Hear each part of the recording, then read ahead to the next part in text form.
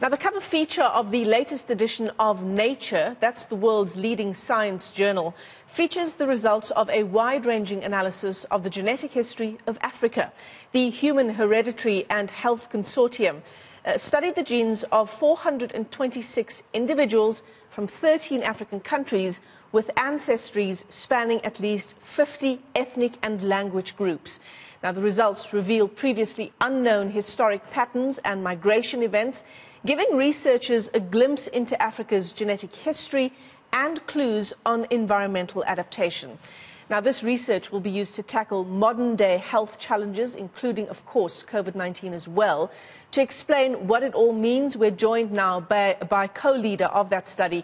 That's Professor Zane Lombard, uh, who is also Associate Professor at Wits University's Department of Human Genetics and lead scientist at the National Health Laboratory Service.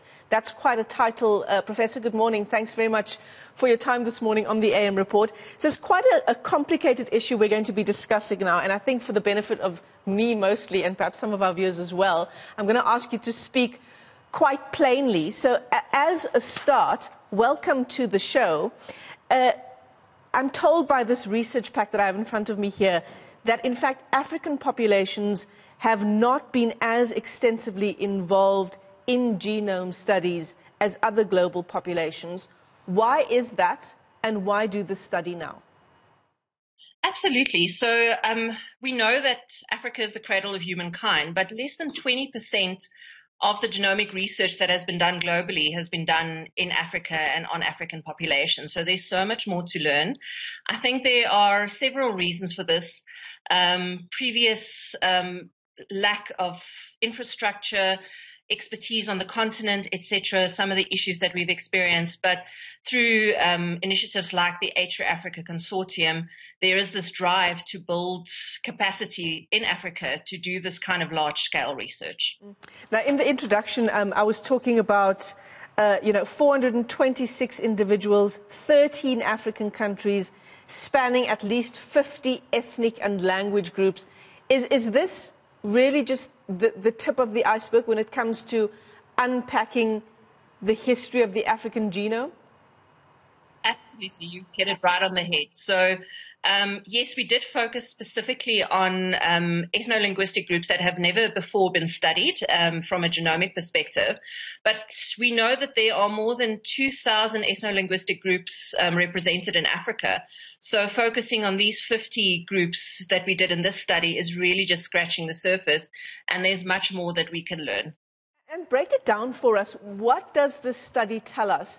And why is it so detailed? I suppose it goes back to, you know, the various colonies on the African continent. We've got influences in the African genome, surely, then from around the world.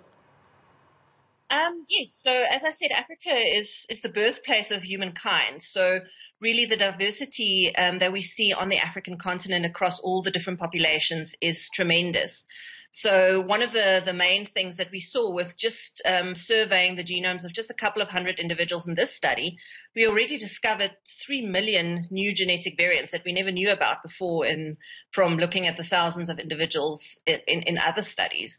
So um, yes, I think there is a lot to learn, and I think it is also important for us to to use these genomic clues that we get to learn about African history, about migration history.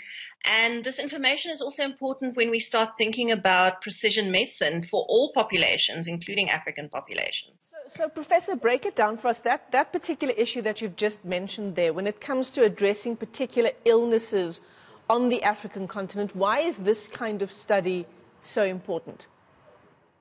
Um, so when I speak about precision medicine, this is where we want to use individual genetic information as well as information about the individual's environment, diet, etc., and pull that information together to inform health and to make um, yep. decisions about disease.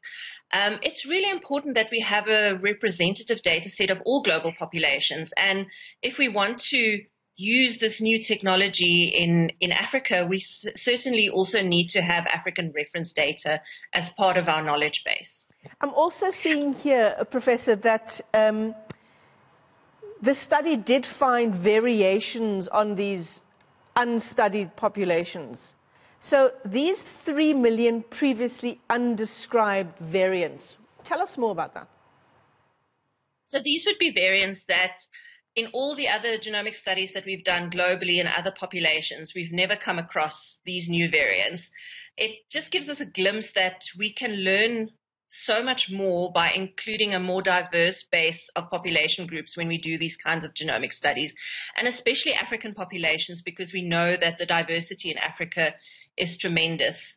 Um, so it, it, really gives us a, a, reason to try and include more of the ethno-linguistic groups and more African um, cohorts in, in genomics research as we go forward. Yeah. And I mean, the big question, of course, is how this kind of research could help us tackle the COVID-19 pandemic on the continent?